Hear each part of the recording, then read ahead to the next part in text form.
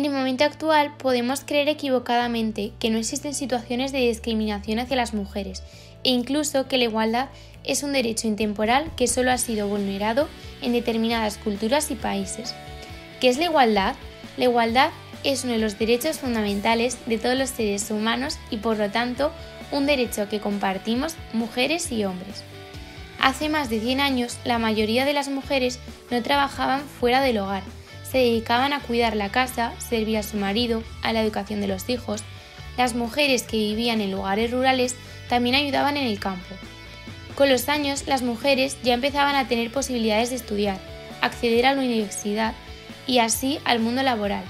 Tanto la mujer como el hombre trabajaba fuera de casa, pero el machismo en el hogar seguía existiendo y era la mujer la que hacía la mayoría del trabajo.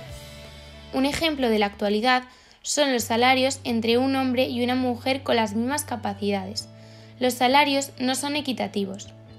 A diario en las noticias, telediarios, prensa, nos hablan sobre las diferencias salariales que hay entre el sexo masculino y el femenino.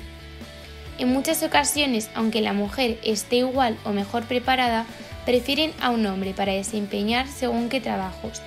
En conclusión, debemos inculcar desde la infancia a las nuevas generaciones que todos somos iguales y tenemos los mismos derechos seamos mujeres u hombres.